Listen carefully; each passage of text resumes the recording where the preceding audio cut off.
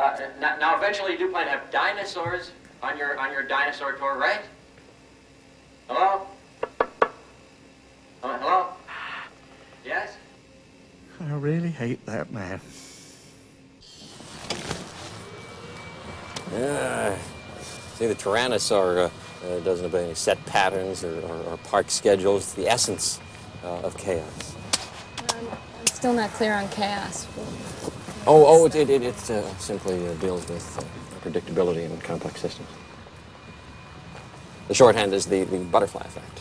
A butterfly can flap its wings in Peking, and in Central Park you get rain instead of sunshine.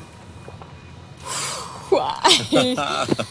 Did I go too fast? I go too fast. I did a flyby. No, give me, give me that big glass of water. We're going to conduct an experiment. It should be still. The car's bouncing up and down, but that's okay. It's just an example. Now, put your hand flat, like a hieroglyphic. Then.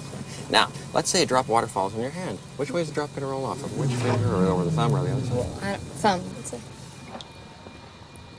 Uh huh. Okay. Right. Okay. Now freeze your hand. Freeze your hand. Don't move. I'm going to do the same thing. Start with the same same place again. Right. Which way is Right. going to roll off? do you think?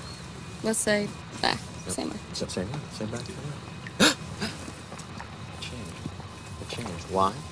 Because tiny variations, uh, the the orientation of the hairs on your hands, Hey, Ellie, look at this. um, the amount of blood distending your vessels, imperfections in the skin, Imperfections in the skin. microscopic, microscopic, and never repeat and vastly affect the outcome. That's fun. Unpredictability. Right? There. Look at this. See? See? I'm right again. Nobody could have predicted that Dr. Grant would suddenly suddenly jump out of a moving vehicle. There's uh, another example.